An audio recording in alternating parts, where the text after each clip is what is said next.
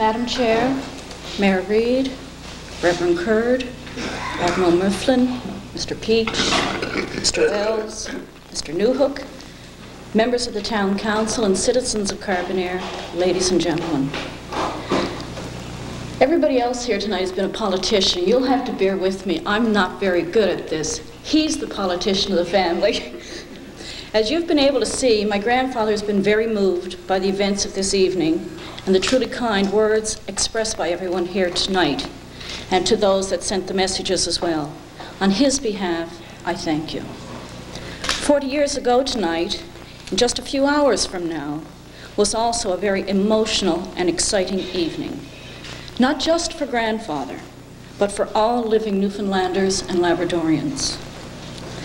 What was to lie ahead for all of us was most probably beyond the belief and imagination of most of us alive then. More than anything else in our history, Confederation with Canada has changed our whole social and economic being.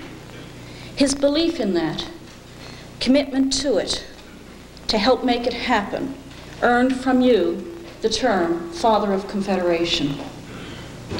Grandfather, however, has always felt he was not the Father of Confederation and never used the term because there were so many more people involved as well. People who worked actively in the Confederate Association, but also the 51% who agreed with and had faith in his vision for Newfoundland. Some of you here tonight are probably among those. And I wish to point out also Mr. Greg Power, a longtime friend and colleague of Mr. Smallwood, and Mr. Pat Canning, who sat in the House with him longer than any other member. Grandfather has been known to say in the past, the battle for Confederation, because battle it was. Carbonear became refuge for his family during some of the campaign, his wife, as you know, is a native of Carbonear, and she brought her family home to be away from the activities in St. John's for a short period of time.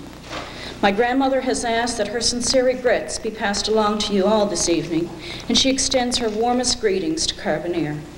Earlier this winter, she fell in her home and dislocated her shoulder.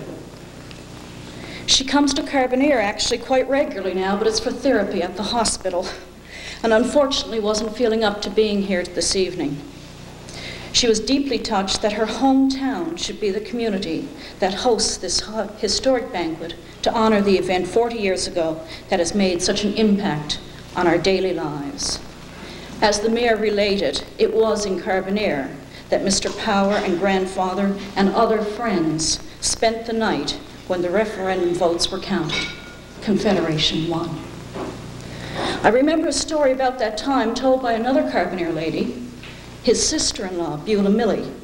She recalled one particularly vocal evening by those waiting outside their home in St. John's when he was being jeered as being a traitor to Newfoundland and to Britain. It was, I'm sure, an uncomfortable meal for the family. However, her story relates that grandfather was not at all bothered by the crowd outside the house and the noise they were making and their remarks but he simply muttered, more to himself than to anyone else at the table, wait and see. Forty years later, and from what many years past, we have seen, excuse me, your remarks tonight have been very emotional. He was recently asked to comment on whether Newfoundland's commitment to Confederation is as strong today as it was in 49. His reply was simply yes, and stronger. Your presence here tonight attests to that, and your warm greetings. On his behalf, I can say only thank you, and wish it were he instead able to say it for me. Thank you.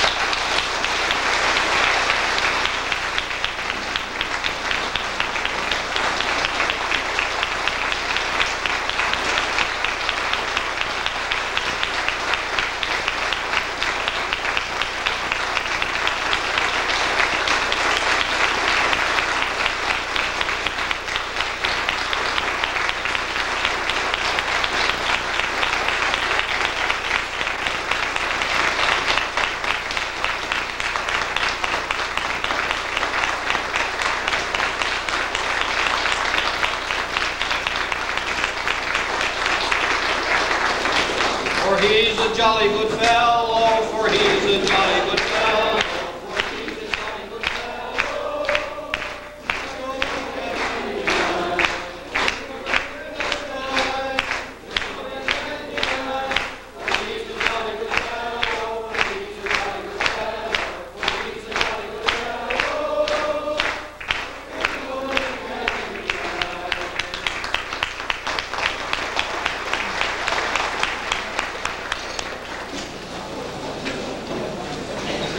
I would now like to call back Mayor Art Reed for a presentation and a vote of thanks.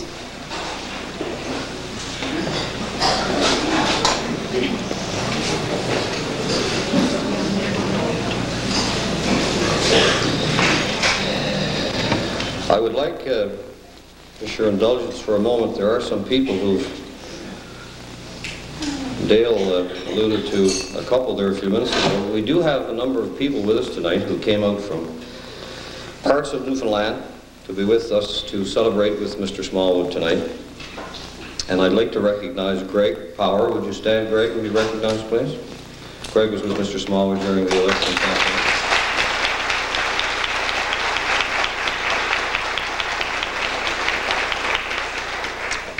We also have the infamous Steve Neary in our audience. Steve, where are you?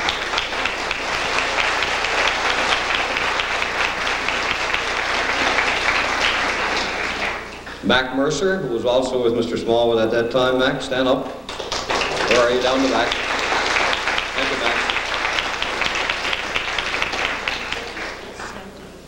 Mac. A duel for Joey, of course, would not be uh, would not be complete with without maybe, if not his best, one of the very closest people to his heart, Eric Daw. Eric, are you here?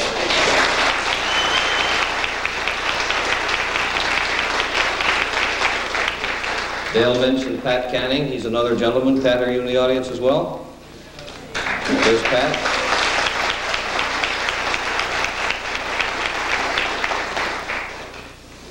We also have with us uh, a special guest, a very close friend of mine who came all the way from La Scie.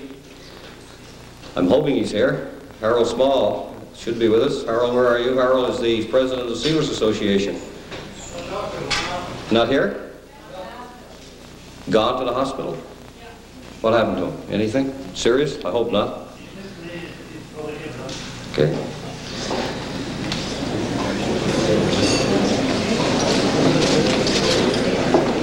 Okay. I would like to uh, to thank Reverend Curd for that beautiful blessing. We refer to her in Carbonear uh, as Reverend Jill now. I think we've uh, decided to adopt her. She's a lovely lady, someone who moved into our town just recently and has made all kinds of wonderful things happen to the Anglican Church here. And thank you very much, Reverend Jill.